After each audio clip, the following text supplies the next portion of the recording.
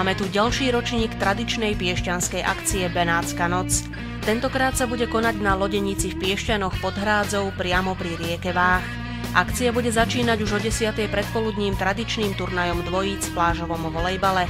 Pre deti bude pripravený detský kútik s animáciou a spoločne s dospelými budú mať možnosť vidieť ukážku prijazdenosti koní kolumbijského plemena Pasofino columbiano, ako aj možnosť zacválať si na koňoch.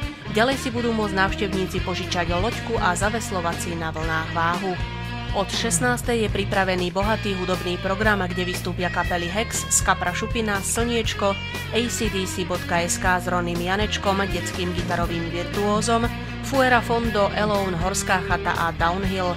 Medzi vyvrcholenia večera bude určite patriť aj bike trialová show Lukáša Rota a bikeshow.sk.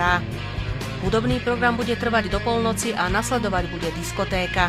Akciou bude sprevázať moderátor Matúš z Fanrádia. Všetci ste srdečne vítaní.